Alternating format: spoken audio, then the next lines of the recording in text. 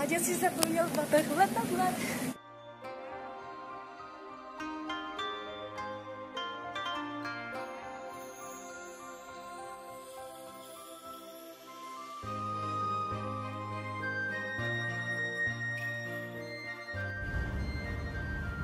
Co děláš?